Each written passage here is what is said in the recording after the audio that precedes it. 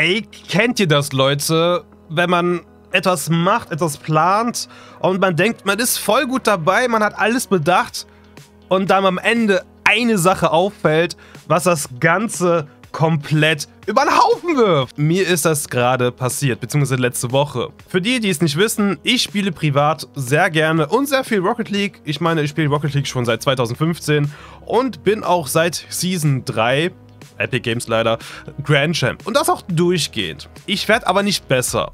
Und das Problem ist halt, ich bleibe immer bei Grand Champ 1. Wenn ich mal gute Tage habe, bin ich auch mal Grand Champ 2, aber sonst immer Grand Champ 1. Durchgehend, ich komme nicht hoch.